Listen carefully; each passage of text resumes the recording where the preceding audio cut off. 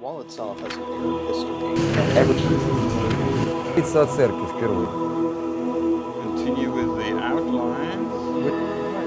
Вот, это, ну, себя, а защищать правду Божью. Это классическая история. Люди Время стал Антиох Эпифан.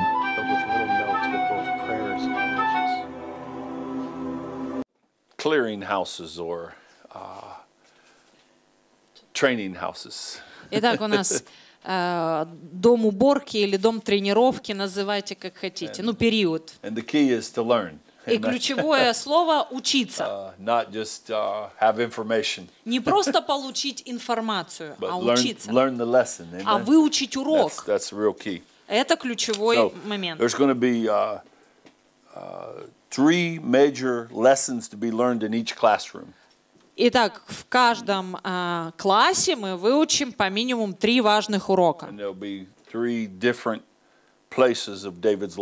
Будет три места разных в жизни Давида. Three major things he learned in each one of those И три самых ключевых момента, которые он выучил в каждых из этих трех разных э, положениях своей жизни. Три места это Вифлеем, Adullam, which is a cave, Adullam, the cave Adullam, пещера, э, у нас, наверное, другое название, но там Дулум какая-то пещера, and then Hebron. Hebron. Hebron и is a Хеврон. All these are places in Israel. Это where he- все исторические места в Израиле. the first place was Bethlehem, where he was 17 years old, Итак, первое место это Вифлеем, где ему было 17 лет. and then Adullam, where he was 24 years old, Потом будет эта пещера, где ему будет 24 года. and Hebron, where he was 31 years old or around about. И Хеврон, примерно ему там 31 год будет. Это три периода жизни And Давида. then he reigned in Zion when he was 38. И потом он а, начал только править на Сионе с 38. So it was about every seven years. То есть, скажем так, периоды такие примерно по 7 лет. And you will, as you we go along in the in the teaching, И когда мы будем продвигаться в нашем учении, where, where вы все поймете, на каком Or- же периоде вы находитесь. you know, Или ка- в каком вы процессе. И чему же вы учитесь, поймем. Где вы в вашем путешествии. Итак, первое, на что мы будем смотреть, это Вифлеем, первый этап. When you break this word down, Bethlehem, it is the house of bread. И э, мы все знаем, что Вифлеем переводится Бейтлехем, дом хлеба. And we're going to look at it as the home church or the home congregation. Congregation. И другими словами, мы рассмотрим домашнюю церковь или домашнюю общину. Home where you get the bread, where you eat the bread. То есть дом, где вы кушаете пищу, где вы вкушаете этот хлеб духовный. Or the first seven years where you say you cut your teeth, you, you got your teeth. Или когда мы э, смотрим на ребенка первых 7 лет, когда вырастают все зубки, да? You know, in the natural, you in the first seven years, you you you learn things. You know, Первые 7 лет жизни ребенка, что происходит? А, Постоянное обучение всему and новому. you lose teeth and you get teeth. You know, Вы теряете молочные зубы, получаете коренные зубы, и все это в период первых 7 лет. but they say that ninety percent of the way you're going to think happens in the first seven years. Но многие говорят, что вообще весь путь, а, куда вы будете идти, куда, как вы будете двигаться, он закладывается в этих первых 7 лет. Now, in this first seven years of David, Первые 7 лет жизни Давида, вот know этой, this is a place where he was called. He was мы начинаем с того момента, когда он был призван, помазан. We also know that we've already read it's a place where he was anointed. Мы знаем, что это два в одном было место его призвания и помазания. It was his place of beginning. Это было его место начала пути. This, uh, I hope this translates. uh, we say with degrees, you know, you have degrees in different uh, university or high school or whatever. We have what's called a BA, a BA degree. Okay, it's like a, a bachelor of arts, you know, Okay, degree, uh, BA. Это с, э, степени, которые получают у них, например, выпускник средней школы, старшей школы, выпускник университета, колледжа. И вот первый — это как бакалавр. So I bring this over to the spiritual side. I say, we're born again. А, our BA. э, вот этот бакалавр, а, это B и A буквы, бакалавр. И э, с английского в христианство, если можно перевести, рожденный снова, те же самые буквы BA начинаются. And then you, we, we, we have this thing of where PhD, where you're a doctor. You know, А Потом PhD. а, идет э, еще несколько ступеней и доходят до степени PhD, это степень доктора. This is where you, you get your Pentecostal holiness dynamite. И PhD это три буквы на английском. P, H и D. Они означают а, пятидесятнический святой динамит. And then you see these doctors, they have this other thing where it's a DD, you know, it's an extra doctorate degree they get. You know? есть э, выше степень, там две буквы D идет перед титулами. And then you become a devil disturber. You disturb all the devils. Тот, кто беспокоит дьявола, можно перевести эти две буквы. То есть ультра вообще высокая степень. these are some of the things that happen, you know. Это то, что может с вами происходить. Вы можете вырасти до этого уровня. But this is the first seven years of David's life after he was anointed. Но мы рассматриваем вот эти старт, первые семь лет жизни Давида после помазания и призвания. И это, если сравнивать с нами, это то, где мы в поместных церквях и общинах находимся наши первые годы. Когда вы приходите к покаянию, и в эти первые семь лет вы, э, ваша жизнь ставится в какой-то порядок, устаканивается, вы начинаете что-то понимать. Там, где вы начинаете свой обучающий процесс, возрастающий в Господе. Zion, Если мы когда-либо будем править на Сионе, мы сначала должны выучить уроки Бетлехема. Very, very important. Очень важные уроки If we Вифлеема. wait to learn these lessons, Если мы будем долго ждать, чтобы выучить уроки there are Вифлеема, many that don't learn these lessons, есть многие, которые не выучили уроки and then Вифлеема, they get to Zion и когда они попадают на Сион and they править, fall out of ministry, and it's very embarrassing. они падают в своих служениях, и это очень They стыдно. embarrass their family, they embarrass everybody. Они а, стыдят и себя, и свою семью, и все свое окружение. То есть велико падение их. Because when you're big and influential and you fall from this place, it's very embarrassing. Потому что когда ты велик в своей власти, влиянии, когда ты занимаешь высокую должность, и после этого ты падаешь, это очень постыдно и очень не- нехорошо. And most people that fall in ministry И большинство людей, которые падают в служении, because they didn't learn это потому что они не выучили уроков первых семи лет. Вот этих уроков духовного Вифлеема. Чтоб, важно, чтобы выучить эти уроки. haunt you or follow you all your life. А you know, они иначе, эти уроки, э, скажем так, невыученные, будут преследовать всю вашу духовную жизнь вас, пока вы их не Now, выучите. this is more of a, a, a look from the world side, then we're going to talk about the spiritual side, but every seven years something happens in И если мы, короче, сейчас э, посмотрим э, и мирскую сторону, и э, духовную сторону, если вы вообще в мир посмотрите, то каждых семь лет что-то происходит глобальное. when a child is in his first seven years, he learns character. The character is going to be how this child is going to be when he grows older. Ребенок за первые семь лет выучивает, выстраивает свой характер, и, в принципе, вот таким он и будет взрослым, как он выучился за первые семь лет.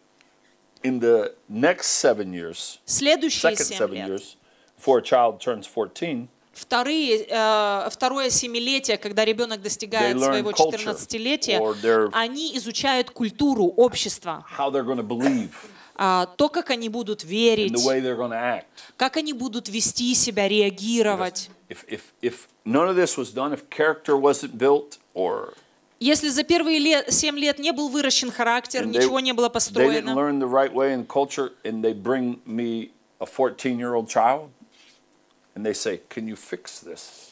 И если за следующие э, ч- семь лет я, как подросток, не выучился, как содействовать в обществе, культуре, ничему не научился, тут приведут меня 14-летнего подростка и скажут, на, вот сделай что-то, почини что-то. Because they have no character, and you say, "Well, what do you Если никакого this?" характера нет, если ничего не развито, know. ничего не было заложено в первые семь лет, то какой результат вы хотите увидеть?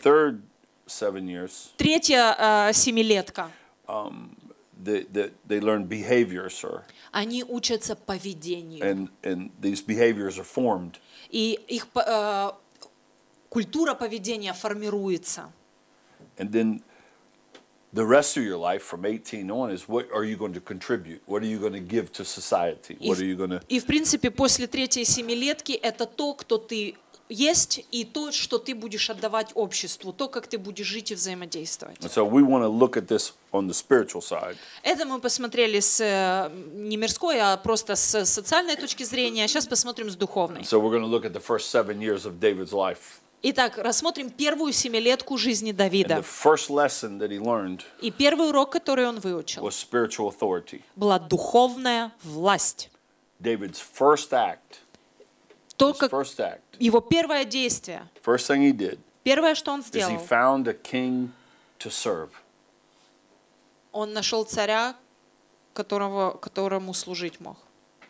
He found a king to serve. Он нашел царя, которому мог начать служить.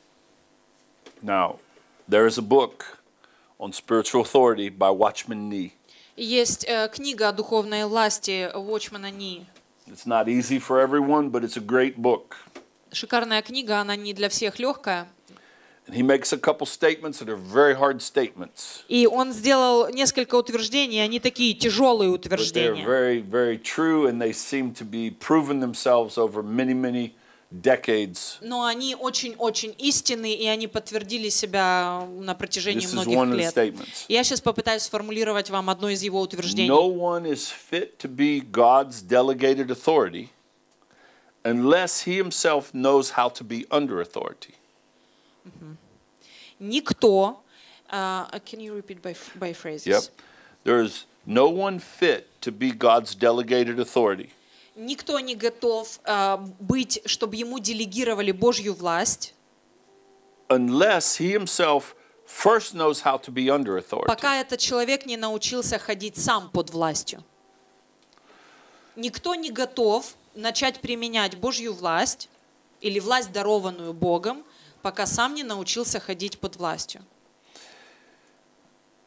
Second statement. Второе утверждение. If of his children, God's children, Если кто-либо из Божьих детей is independent независим or self reliant, или, rely on themselves, или полагается на себя, not subject to God's delegated authority, это не Божья делегированная власть. then that one can never accomplish the work of God on the earth. Тогда такой человек никогда не сможет совершить работу Божью на этой земле.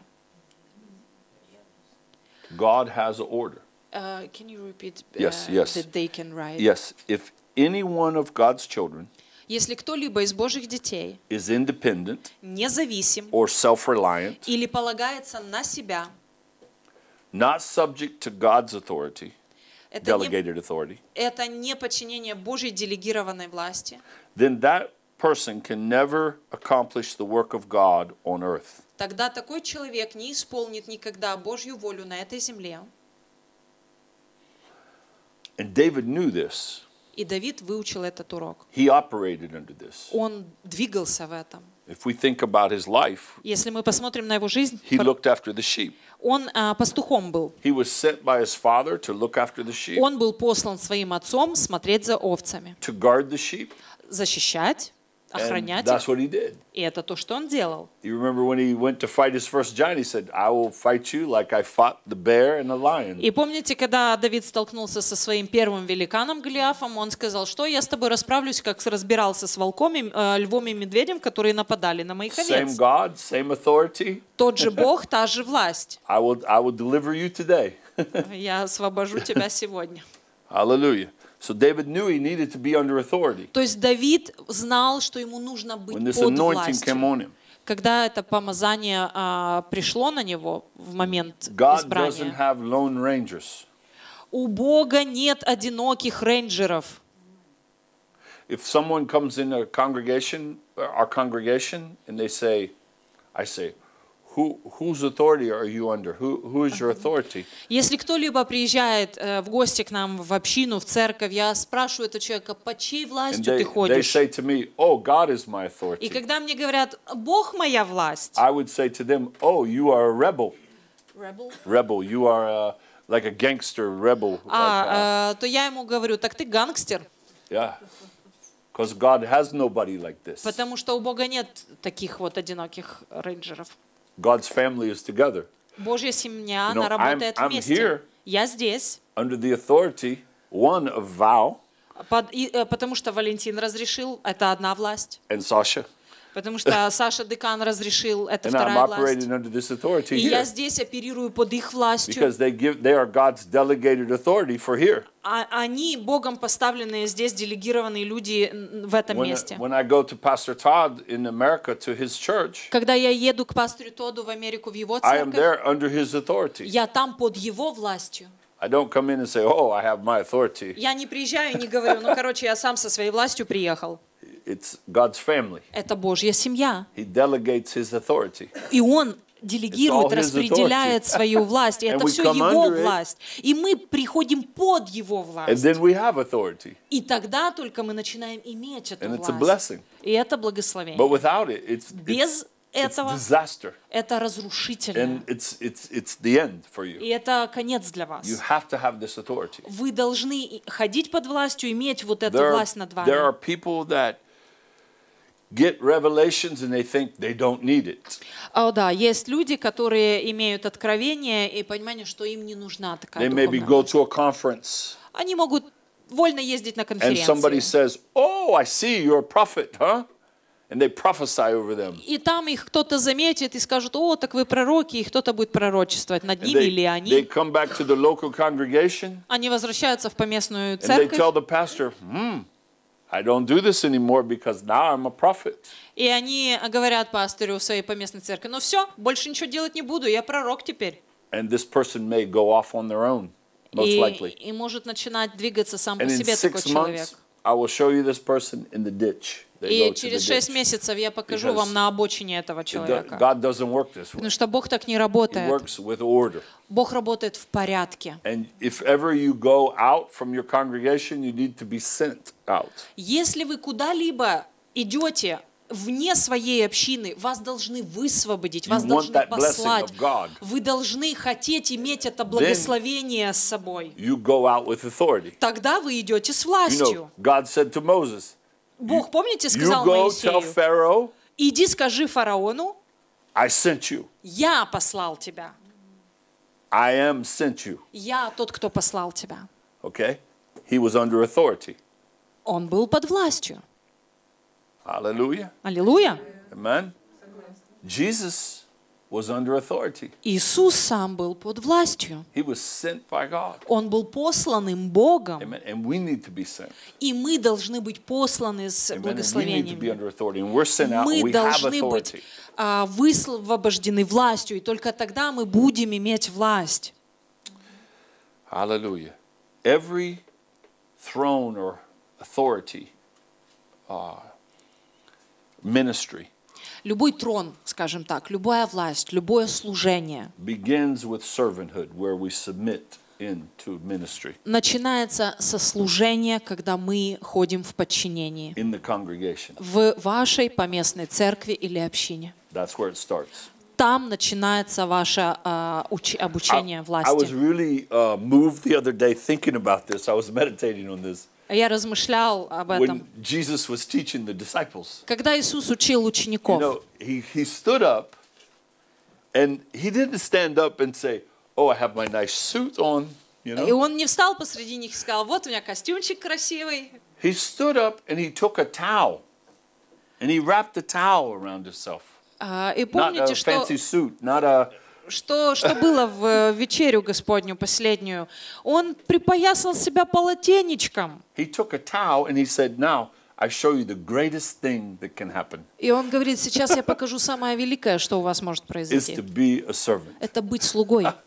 And this is how he taught his disciples. Вот как он учил своих учеников. So when we submit in to be a Поэтому, servant, когда мы в подчинении смиряем себя, чтобы быть слугами, it's the greatest part of our life. это самая чудеснейшая часть нашей жизни, самая великая часть нашей жизни. If thoughts come, oh, you need to be this, you need to be this, И you need to если go вас here, посещают мысли, что «О, ну нет, тебя ждет вот это», или «Тебе надо быть вот там, вот тем», rebuke it. отвергайте эти мысли. you know, rebuke it. Просто отвергайте, гоните эти a мысли. servant. Начните со слуги, будьте the слугами. blessings of the Lord. И Наслаждайтесь благословениями Божьими в этот момент. Будьте слугами. Это самое лучшее. Благословение, которое вы когда-либо будете иметь. И вы никогда не захотите потерять его.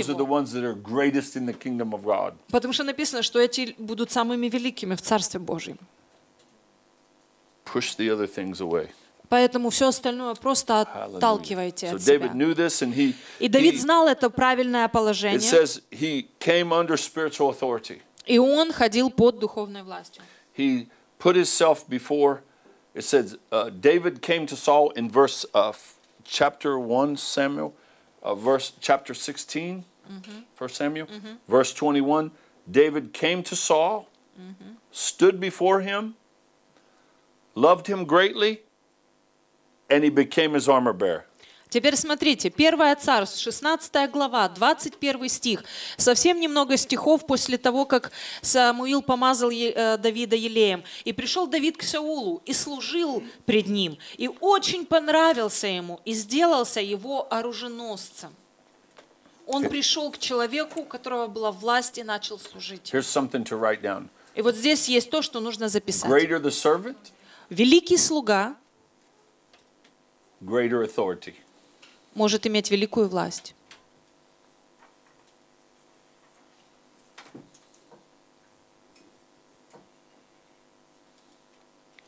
Show me great authority, I show you a great servant. Покажите мне великую власть, я вам покажу великого слугу.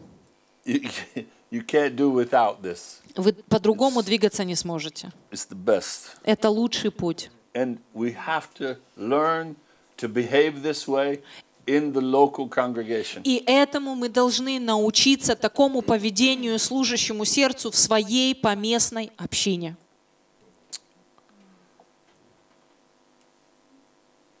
Some people say, when I become a preacher, I become an evangelist, I become a prophet, or Многие люди говорят, о, я стану евангелистом, пророком, про учителем, а, проповедником. I'll be great. in the Я kingdom." буду великим в Царстве Божьем. Самое великое место, какое ты можешь занять, это быть слугой. These same people, they won't even go to prayer meeting on the Wednesday night. They won't even come.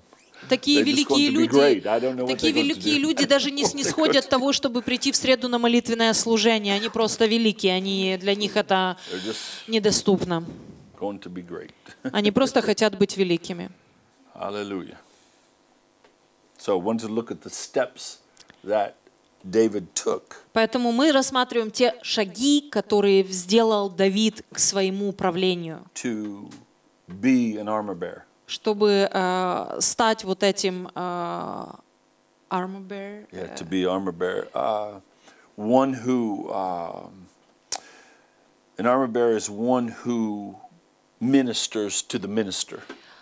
до того, как он стал тем, когда он начал служить служителям, скажем так. We'll, we'll Мы побо- побольше разберем, когда придем к этому моменту, когда он созрел уже. То есть уровень, когда ты служишь не просто всем, а уже кому-то выше. But you, we will see it in the lives of uh, Moses and Joshua and Мы Elijah рассмотрим- and Elisha. And Мы рассмотрим это, затронем в жизни Моисея, Елисея, Илии, э, Иисуса Навина. Они уже служили а, высоким, так сказать, чинам. И, ты уже принимаешь от служителей, когда ты служишь служителям, и это все взаимосвязано. Помните, как Елисей служил. Илие мы разбирали, да, и ты становишься слугой служителя. Here I was, I, I give you a little story. Здесь сейчас мы расскажем историю. In this drug house. В этом притоне And наркоманском. I'm praying, oh God, И я молюсь, Господь, I want to do this right. я хочу сделать все правильно. And I pray, God, I want to know the truth. И я молился, Господь, я хочу знать истину. I will go anywhere you tell me to go. Поеду туда, куда ты пошлешь меня. Just show me where to go. Просто покажи, куда идти. And I'm laying on my bed every night crying, asking God, help me. I, I, I, don't know where to go. И я лежал на своей лежанке там и молился и плакал, каждую ночь взывал, Господь, помоги мне, потому что я не знаю, куда и как ехать. Two blocks, two city blocks, you know, А, two city. Два, два квартала э, от этого места There's a man, был человек. he's praying. Он молился. He served God for 66 years. Он служил Господу уже 66 лет. And he's praying, И он молился. God, Господь, give me one man дай мне одного, so I can pour my life in him. чтобы я излил всю свою жизнь в него. And then little old lady, she comes to me. И потом маленькая пожилая женщина пришла She ко said, мне. I see you in a dream. Она говорит, я вижу э, в- во сне said, тебя. I see you lay there, you ask God for the truth. Я вижу, ты лежишь и спрашиваешь Бога о истине. Down the street is an old man, he's waiting for you. На улице пожилой мужчина, он ждет тебя. Go, Иди, he will teach you. он тебя научит. She comes to the drug house, knocks on the door, tells Она, me this. она пришла в этот притон, постучала в дверь, нашла меня и So сказала I мне go это. in this house, Я пошел, и там пожилой старичок He's сидит. 79 years old. Ему 79 лет. And I look at him И я посмотрел на and него. I hear this voice inside me. А и, слышу голос внутри себя. And I say what the voice is saying. И я говорю сейчас вам то, что внутри голос меня I говорил. said, I will be with you till you die. Я ему сказал, я буду с тобой, I пока ты не умрешь. Я буду с тобой служить тебе и носить твою Библию, пока ты And не God gave умрешь. me this man for 10 years. И Бог дал мне этого старика So I на could 10 serve him. лет, чтобы я мог And ему I служить. Я любил его. Он был моим духовным отцом. He was, and I, I, I, I- I loved him. You know, я I- I- любил его I- как духовного what the отца. scripture says here Как Писание говорит. is that David, he, he, like, you take a nail and you drive the nail into a tree. Помните, как говорит, э, взял гвоздь, забил в доску, в дерево.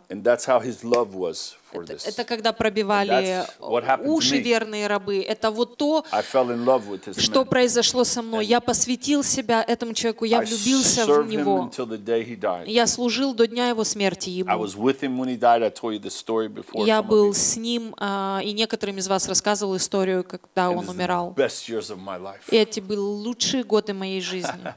I wouldn't trade it for all the Bible schools in the entire И я не променял бы это ни на одну библейскую школу в любом кусочке мира. Если бы мне сказали, ты можешь посетить и обучиться во всех you for my 10 библейских школах, я бы их не променял на 10 лет с этим человеком. He showed me the heart of God. He showed Он мне показал сердце. Отца, любовь Отца, But I served him. Бога. Но я служил Ему, и я рос. Now, what does this mean? Что же это означает? David stood before Saul. Как здесь мы читаем, что Давид стоял перед he Саулом. stationed himself uh, before him Он, скажем так, посвятил себя Ему, to serve God служить Богу and be a part of the kingdom. и быть частью Царства. He's a man, Он человек, but I'm serving God. И, но как бы через то, что я служу человеку, я служу I'm Богу. serving the man, but I'm serving God. Служа человеку, я продолжаю служить So Богу. he, he stationed himself there before him. Он, он поставил себя перед его лицом, он And we привел all себя. need to к- have someone. Мы все должны иметь кого-то вот We need to have такого a congregation. We need to have an authority. зрелого. Мы должны иметь у себя общину, мы We должны need иметь власть над that собой. authority. Who is your authority? Мы должны э, иметь имя этой власти. Кто твоя власть? Who have you served? Кому вы служите? Who, who are you with? С кем вы? Say, I'm with God. Да, можно сказать, я с Богом. That is rebel. It's, it's Это gangster. гангстерство, это не работает так. Hallelujah. So, Joshua did this with Moses. Иисус Навин так делал с Моисеем, помните? In Joshua 1 1, Иисус Навин 1.1 he was the открываем. minister of Moses. That means he, he, he washed his feet, or he washed his hands, or he, Он мыл, он мыл ноги Моисею, он мыл руки, омывал Моисею, он был слугой его, он был при Моисее. По смерти Моисея, раба Господня, Господь сказал Иисусу Навину, служителю Моисееву.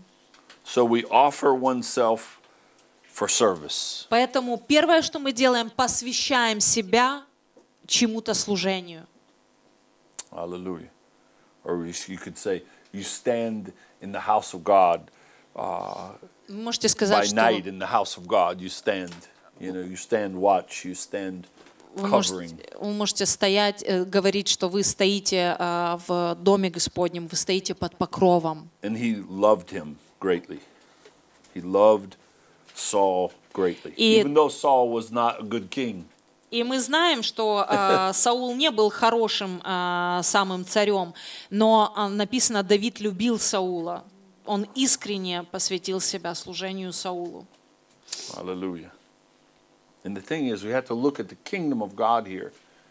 И вопрос в том, что мы должны с вами смотреть на Царство Божье здесь. Вы не должны смотреть на то, как мир на вас смотрит. Вы должны смотреть, что вы служите Царству Божьему здесь, в поместной общине. And this has happened to me many times. I have many sons and daughters. И это происходит со мной очень часто. У меня много духовных сыновей и дочерей. И э, они служат мне. И если я сейчас позвоню I кому-то из них, they они приедут. Я понятно, что я не буду сейчас вызывать кого-то сюда, но я знаю, что если я позвоню и скажу, ты мне нужен, они прилетят. And it, happens supernaturally. И это происходит сверхъестественно.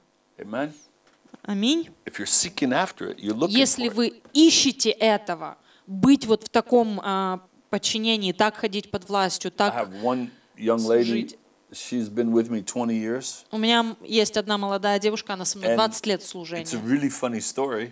Очень веселая I, I история. send my niece to Mexico, Как это произошло? Я послал свою племянницу в Мексику. Она познакомилась там с мексиканкой. И а, эта мексиканка захотела сбежать из Мексики и приехать с моей племянницей в Америку. um, "Is it okay if I bring Mexican girl with me?" И э, моя племянница звонит и говорит, вообще нормально будет, если я с собой мексиканку привезу? А я говорю, ну хорошо, привози.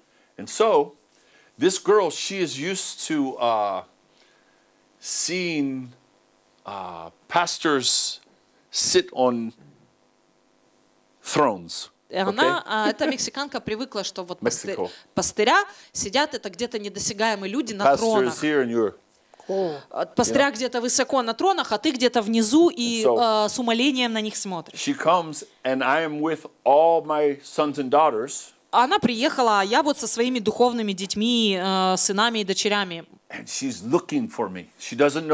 like, Она не she, знала, как я "Where's the выгляжу, pastor?" и она пыталась высмотреть, где ж пастырь сидит. She walks by me Она проходила мимо меня несколько раз, потому что я готовил. I'm on the coals, on the hot coals. I'm cooking, Я э, на, на гриле, видно, что-то делал, короче, and she's готовил. looking for the pastor up here, and I'm down here. А она искала где-то на высоте пастыря с восседающим, very funny а я на кухне э, really funny. еду готовил. And so finally, she has to ask my niece, "Where's your uncle? Where is he?" И в конце концов она устала искать и говорить, где ж твой, спросила племянницу, где ж твой дядя, где ж пастырь? Oh, he is the man serving everybody. А вот тот, кто всех обслуживает, еду всем делает. Why? Что? Почему он это делает? I never see nothing like this. Я никогда не видела, что пастыря себя так вели. She gets engulfed with God. И она просто God была захвачена Богом. Бог просто окружил ее and grips her heart и просто захватил ее сердце and tells her, и сказал, "You will serve this man ты будешь служить этому человеку, that is serving these people." как он служит своим людям. This is 20 years ago. Это было 20 лет назад. 20 years ago. 20 лет And now назад. she still serves. И сейчас она все еще служит. Every time I would ever leave to go around the world, she packed my bag. She bring my bag. Anything I do, she's right there. She's working. She's А, Что бы я ни делала, она пакует мне чемоданы, куда бы я ни ехал, она складывает мне вещи, она помогает мне все организовать. and she serve and serve and serve. И она служит, служит и служит. And then just years ago, И год назад God brought her to Germany, Бог привел ее в Германию, and now she's leading.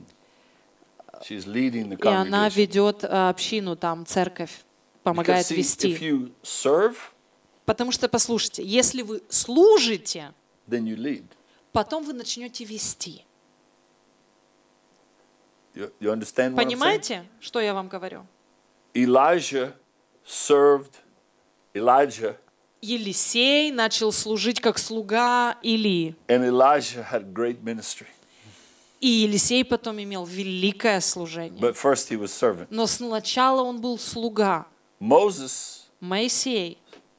Joshua served him. Иисус Навин. There were Иисус Навин greater people. служил ему. Caleb, Халев, Иисус Навин, они великие люди были сами по себе. Воины Joshua великие. Но Бог сказал, Иисус Навин, ты будешь Моисея служить. you will take the people. Ты поведешь народ. God chooses you. Бог выбирает. Ты будешь служить. И Он выбирает.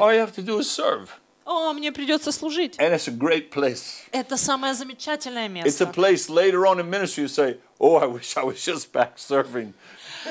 Иногда в будущем, когда вы будете уже вести кого-то, вы будете вспоминать и говорить, ох, если бы я вот там остался и делал то, что я I wish делал my тогда. father was here and I just only had to serve my father. О, если бы просто мой папа был здесь духовный, я бы только продолжал Many служить ему.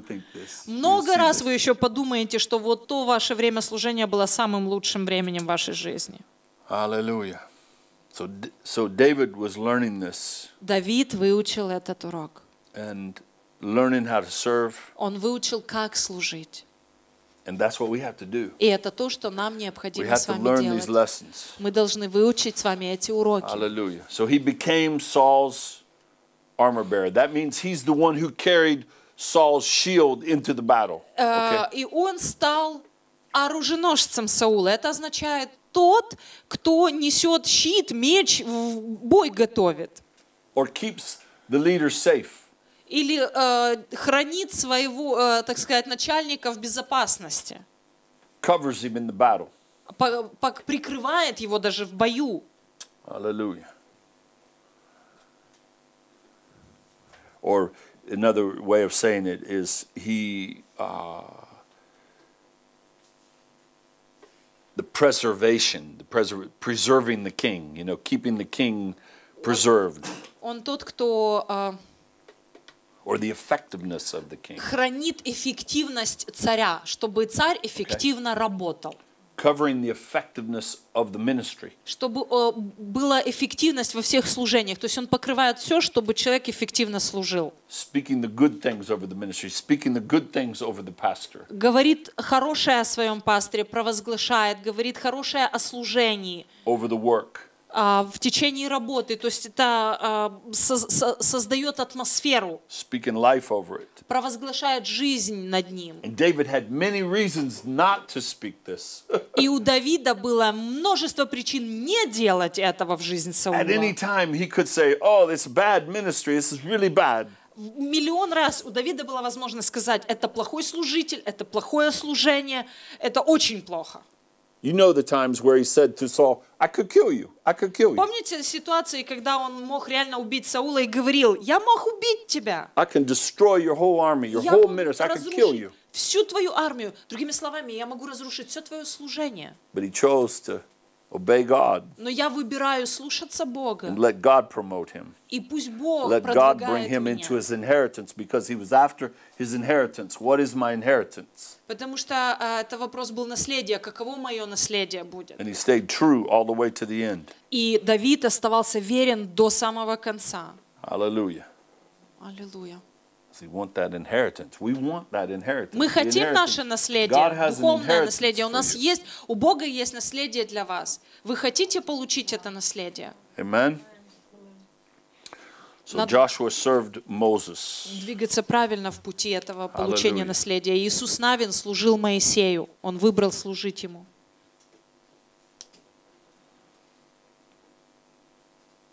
Sons are made, not born. They're made.